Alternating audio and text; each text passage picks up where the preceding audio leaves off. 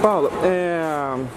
Teve um show seu que você assim surpreendeu todo mundo, que você convidou a Marina Rui Barbosa para cantar com você. E então assim, queria saber se você pretende fazer isso aí mais vezes, dependendo dos convidados que estiverem no seu show, chamar eles para cantarem com você, se foi difícil assim puxar ela para cantar ou se ela topou de logo. Olha, hum. eu sempre convido alguém hum. para cantar comigo no show. E tem um momento no show que é especial para mulheres.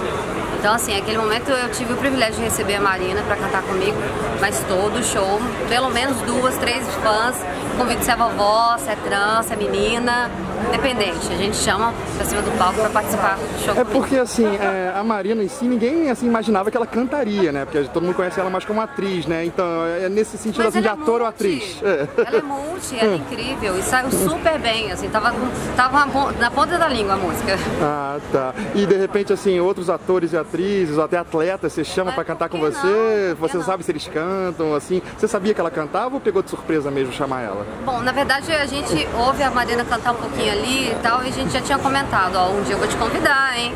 E aí acabou acontecendo. Sim, ok.